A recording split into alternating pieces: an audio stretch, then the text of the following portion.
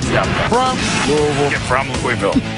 Panthers, Eagles. Last year, the Panthers came into Philadelphia, beat Donovan McNabb and company 14-3 in the NFC title game.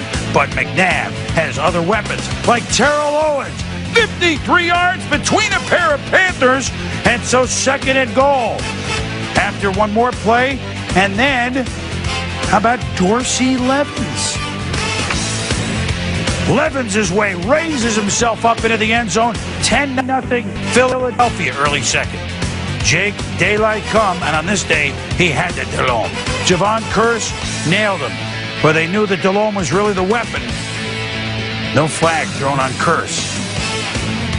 Helmet to helmet? Mm, I think it's helmet to shoulder, actually. Yeah. You got him on the shoulder before, you know, before the helmet went up. But you know, Jake will not leave the game. He's a tough customer. 10 0 Eagles. McNabb to Owens. The one thing they didn't do today was to uh, score a touchdown. But look at these two plays of 50 or more.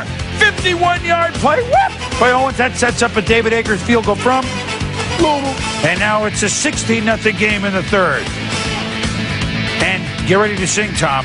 Delo back to pass. And then it's Lito.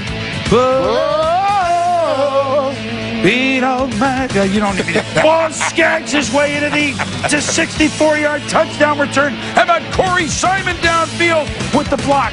Watch Simon blocking 300 pounder Jordan Gross. Yeah, and this is hustle. This is people wanting to make the play, getting out in front of people. Look at him right, right there. Uh oh. Look at Corey take a beat off him. and you love it. You just wait for the block, and then you move in behind it. And wow, Delhomme and the Panthers battered one off of the road. You're good. Good tune. Eagles, good team. 30 to 8. Philadelphia, last time they were 5 0, 1981. Dick Vermeil coach. Ron Jaworski, quarterback.